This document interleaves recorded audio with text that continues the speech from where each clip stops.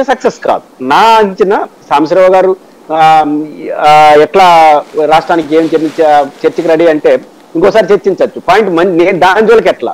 నా అంచనా ప్రకారం ప్రజల్లో బీజేపీ అన్యాయం చేసిందనే భావన ఉన్నది. ఉన్నదని నేను అంచనా వేస్తున్నాను. బట్ నిజా నిజాల గురించి నేను మాట్లాడట్లేదు. ఆ అంచనా ఉన్నప్పుడు అలాంటి పార్టీతో పొత్తు పెట్టుకుంటే మేము నష్టపోతామని తెలుగుదేశం ప్రగాఢంగా నమ్ముతా ఉంది. ఇది అధిష్ట వర్గాలు పోగొట్టలేదు నాకున్న అంచనా కూడా అదే. ఇట్లాంటి ఉన్నప్పుడు అదనపు సమస్య. ఇప్పుడు పవన్ కళ్యాణ్ గారితో అంత దూరం ఎందుకు వెళ్తున్నాడు చంద్రబాబు నాయుడు గారు? చాలా దూరంగా వెళ్తున్నాయి చాలా తీవ్రంగా విమర్శలు గారు చేసుకున్నారు కదా. ఎందుకంటే పవన్ కళ్యాణ్ గారికి ఆ రోజు అసలు పవన్ కళ్యాణ్ గారు పోటీలో ఉన్నాడు అనే టైంలో ఆరు శాతం ఓట్లు వచ్చాయి ఆ పార్టీకి. ఇంకా పెరగతాయి తప్ప తగ్గవు కదా. కాబట్టి అది అసెప్ట్ అవుతుందని భావించాడు. పవన్ కళ్యాణ్ గారు అసెప్ట్ అవుతున్నాడు భావించాడు కాబట్టి ఎవరెన్ని మాట్లాడినా ముందుకెళ్తున్నారు. బీజేపీతో ఉంటే అది డిసడ్వాంటేజ్ అవుతుందని తెలుగుదేశం నమ్ముతుంది. నేను కూడా నమ్ముతున్నా. ఎందుకంటే బీజేపీ ఆంధ్రప్రదేశ్కి అన్యాయం చేస్తున్న భావన ప్రజల్లో ఉంది. దానికి ఈ ప్రతిపక్షాల కుట్రలు అవన్నీ పక్కన పెట్టేద్దాం. రెండు ఉదాహరణ చెప్తాను సాయి గారు. ఇప్పుడు వివేకానంద రెడ్డికి మర్డర్ కేసులో ఉంది. రోజు సాయంత్రం ఏడు నుంచి తొమ్మిది వరకు కూర్చోబెట్టి ఏం మాట్లాడిస్తున్నారు? ఇదంతా బీజేపీ వాళ్ళు జగన్ పెడతారు. ఏమని?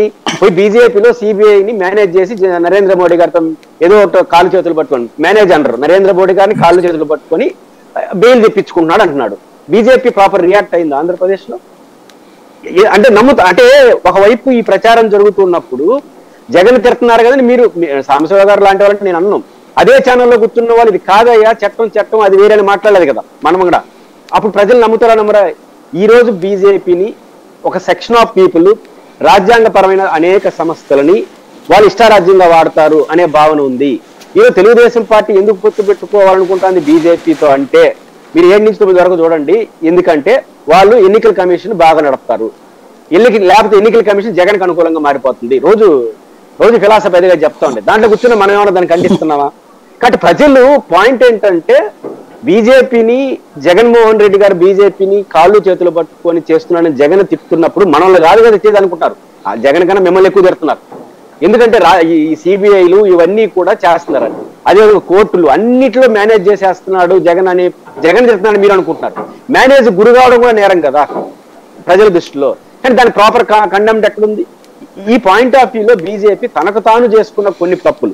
నెంబర్ వన్ ఇప్పుడు ఉదాహరణకు ముప్పై రెండు లక్షల ఇళ్ళ పట్టాలు ఇచ్చారు సాయి గారు. ఆంధ్రప్రదేశ్. దాంట్లో ఇరవై లక్షల దాకా కేంద్ర ప్రభుత్వం కోఆపరేషన్ చేస్తాం ఇది రా- దేశంలో చాలా రాష్ట్రాలకు లేవు. ఆంధ్రప్రదేశ్ ఉంది కదా. చాలా విషయాలు ఆంధ్రప్రదేశ్కి పదివేల కోట్ల రూపాయలు ఈ ఆర్థిక లోటు భర్తీ చేశారు ఈ కాలంలో? ఆ విషయంలో రాష్ట్ర ప్రభుత్వం సాఫీగా నడవడానికి తోడ్పాటు ఇస్తుంది? అదే సేమ్ టైం చేయని అంశాలు ఉన్నాయి. రాయలసీమ ప్యాకేజ్ కావచ్చు ఉత్తరాంధ్ర ప్యాకేజ్ కావచ్చు ఈ రోజు కూడా ఫైనల్ కాలేదు. ఇట్లా అంశాలు పెండింగ్ ఉన్నాయి నేను కాదను రెండు ఉన్నాయి. అయితే ద్రోహం చేసిన పదం నేను అన్నాను బట్ బీజేపీ పట్ల ఆ నింద పడినప్పుడు మీరు ప్రాపర్గా రియాక్ట్ కాలేదు.